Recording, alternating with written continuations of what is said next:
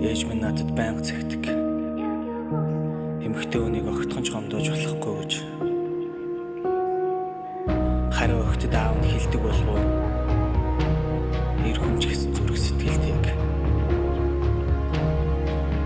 Бид энэ зүйл ийм л байх ёстой гэсэн хим хэмжээнд баригдаж чад удаж. Энэ бүх зүйлийг хараад итг. Ир хүн байж нулимсаа зэйлэгч гэдэг үгийг хараад идэг. Ир хүн байж сэтгэлийн бай гэдэг үгийг ч бас хараад идэг. Ир хүн байж юм бааштай юм гэдэг үгийг хараад идэг. Ир хүн байж би зүйл дээр олон юм ярьлаа гэдгийг ч бас хараад идэг. Би ир хүн гихтээ надад үлмар шаналмаар уюудэж олон байдаг. Би ир хүн гихтээ ойрлмар чаралмар хэрэлмэр уюудэж олон байдаг. Би ир хүн ягаад чи хэрхэн түүнийг ойлгох талаар нэг ч удаа боддоггүй юм. Би ир хүн гэсэн хэвэн цутгагч та нарын хэлсэн үгэнд хүчээр гомддоггүй юм. Ир хүн байж шилжихэнсэн дуу хэлэг гээ зарим намайг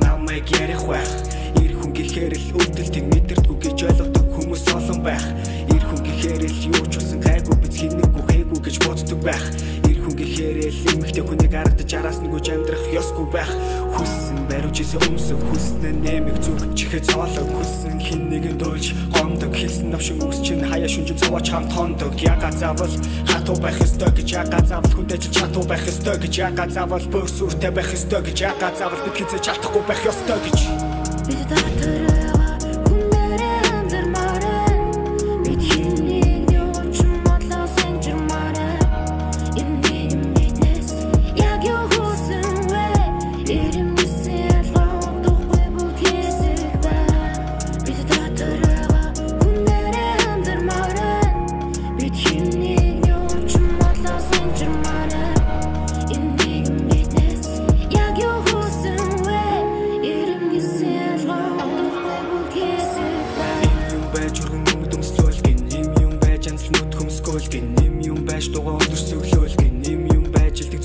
байх ёстойлгэн юм юм байж шивэс хилэглэлгэн юм юм байж гэрээ цэвэрлэжгэн им хүн гэхээр л гоё сайхан байх алавгүй энэрэнгүй байсан штэ дэнж шиг даалавчгүй тэд гэрээ мүжлэгч байх гэж төрөөгүй. Тэд хэрийн зүйлсээс ч айдаг төрөөгүй. Тэд бэрийн амьдралыг ч хаяа хүсдэггүй. Тэд дэрийн талбан дор байхыг ч хүсдэггүй. Ягаад заавал тэд уйхан байх ёстой юм гэртэн байж болохгүй гэж юу хаяа тоостой юм. Ягаад тэд хаяа согтож бүдүүлэг байж болохгүй гэж алуус руу хандарч төрөв би чи чагаад болохгүй гэж. Хүүхэд дөрүүлж оролцоогийн карьер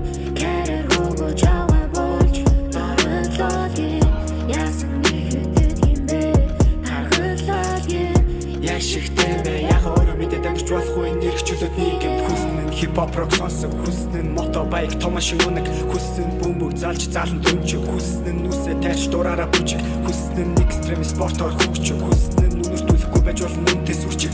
Хит хичээг дунахтаа зүрх нь үхчээ. Тайлаад дөгөөш навшин нийгмийн энэ түүхчээ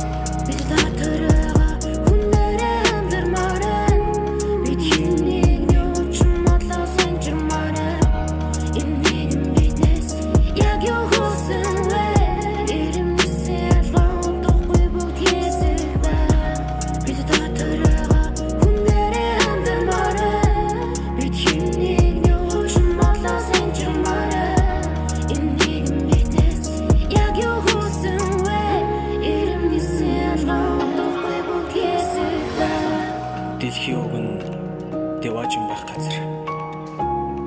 Гэтэл бид там болгон хувиргажээ.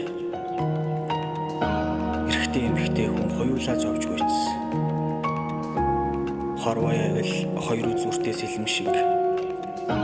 Өрөөлийг жижиглэх тоолонд чи өөрийгөө жижигдэг. Өрөөлийг дарамтлах тусмаа чи өөрийгөө дарамталдаг.